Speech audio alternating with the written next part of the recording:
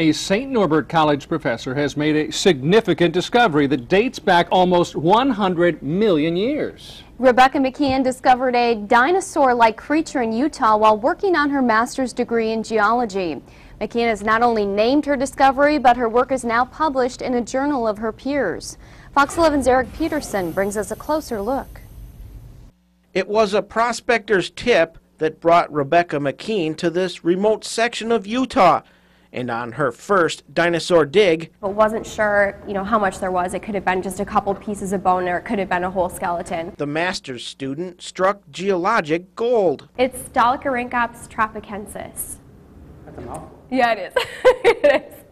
It is. So it's a it's a type of plesiosaur. McKean says it's like a short-necked Loch Ness monster. It was about 15 feet long, had a huge head, tons of really sharp teeth, and it swam around in the oceans at the same time the dinosaurs were walking around on land. But this was no ordinary fossil. As McKean and her crew processed the site, she discovered distinct features in the teeth and backbones. The prehistoric animal was 7 million years older than she originally had thought. It's about 92 million years old.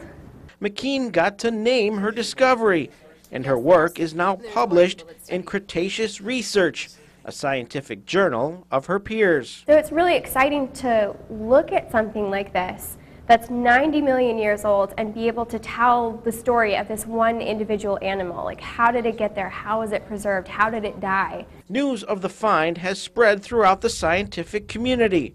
At Green Bay's Neville Public Museum, Director Rolf Johnson says the discovery is significant. It re reawakens that awareness that new discoveries are being made, and it reawakens the awareness that there are places like the Neville Museum where you can learn more. Meanwhile, McKean is back at St. Norbert College.